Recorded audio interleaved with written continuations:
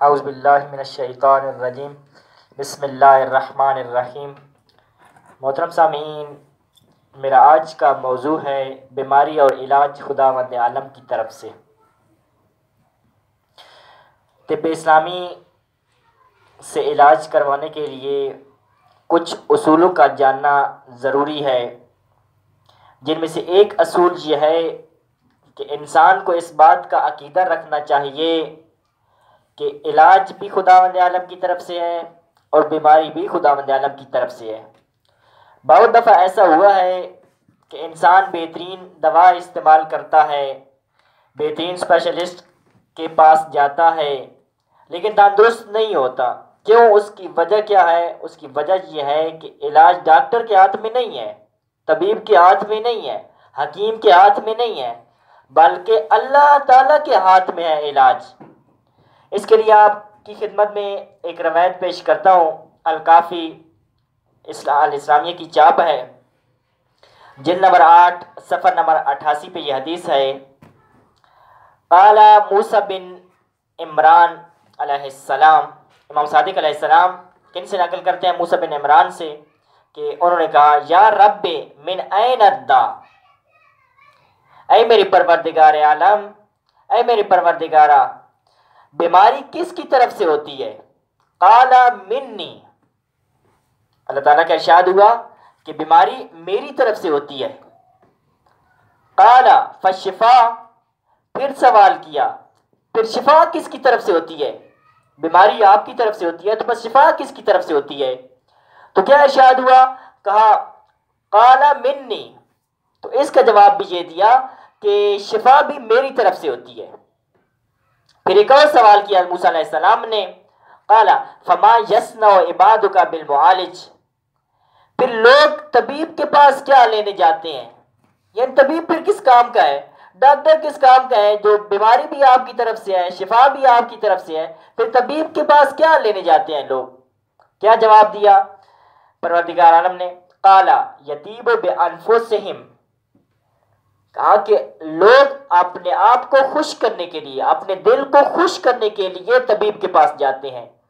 یعنی طبیب کے پاس جاتے ہیں تو ان کو دل کو تسلی ہوتی ہے ایک طرح کی۔ وگرنہ شفا بھی خدا مد عالم کے ہاتھ میں اور بیماری بھی خدا مد عالم کے ہاتھ میں ہے۔ پھر فرمایا فیوم سمی المعالج الطبیب۔ پھر اسی دن سے معالج کو طبیب کہا جانے لگا۔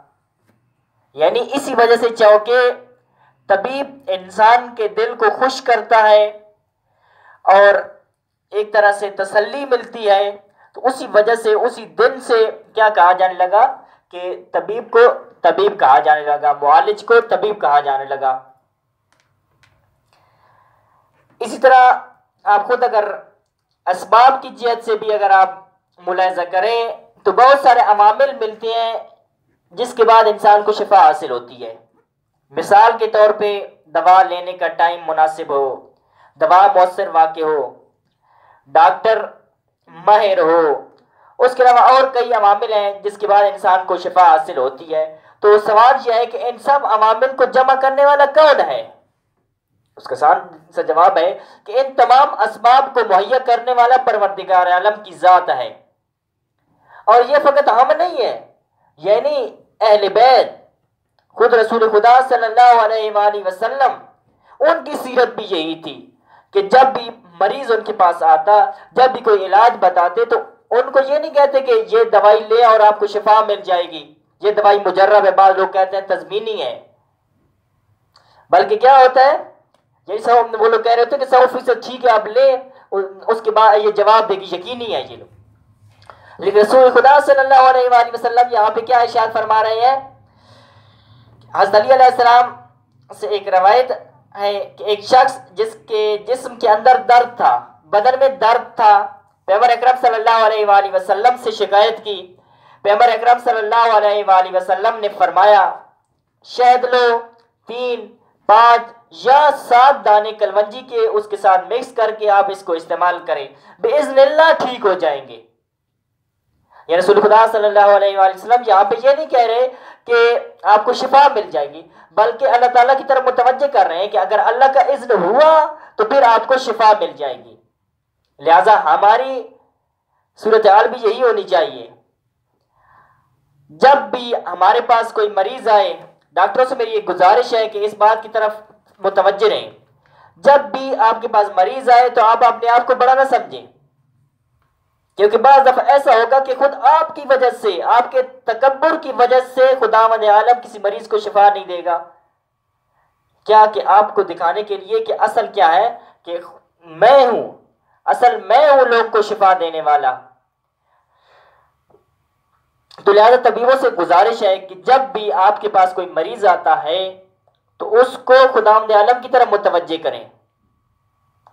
اس کو کہیں کہ شفا دینے والا خدا مد عالم کی ذات ہے۔ میں تو ایک ذریعہ ہوں، جس کے ذریعے سے خدا عالم آپ کو شفا دے گا۔ اللہم صلی علی محمد و آل محمد و اجل